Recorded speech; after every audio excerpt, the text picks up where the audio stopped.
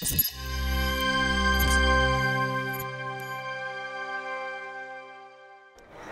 well, at college I did photography uh, and I was doing that for about five years and then um, my lecturer from college actually came to Stafford University and he did fine art I think and he said that it was a really nice place and it was a really really amazing university so I applied and then um, John Holden was at the UCAS event in Manchester when we went and just was like just took me away with he showed me these films and I was like so interested and I was like this is exactly what I want to do.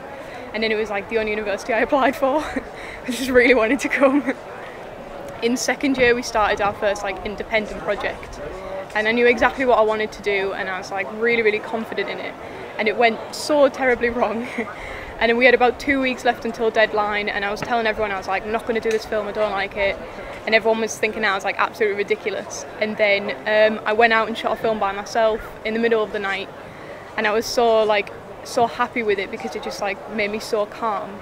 And then just secretly did this film and then went into my last supervised session. I was like can I hand this in instead of my other one? And they said yeah. And then I was just like it was all about like finding peace and stuff when I was like so stressed and um, and then we got an Icelandic monologue over the top of it about finding peace at night time and, and not uh, not looking at it as it's such a negative and all the stories that you hear and then from there got told to submit it into BFI and I did that and was like amazed that it managed to get in. There was a lot of people that I know from the course that submitted a film and didn't get in.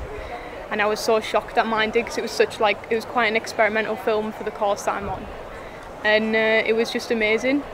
And I think the course and the lecturers just built me up to have so much confidence and so much like faith in my own ideas that it really pushed me to do like what I wanted to do and experiment and drop a film when I wanted to. Like I had that support to like push me and, and do what I wanted to to get like the best out of it I guess it was like one of the scariest things coming to uni I think for my parents mainly but moving three hours south uh, when I was like 17 bit of a scary thing, but it has, it's definitely like upped my confidence so much. I went and did uh, Camp America last summer and uh, by myself, and I went to Portugal by myself, and I don't even think I'd have been able to do that if it wasn't for the course, which is really odd to say, but like I was so quiet and like didn't speak to anybody at all before university, and now I'm like chat to everybody, say hi to everyone, and like even if I don't know them.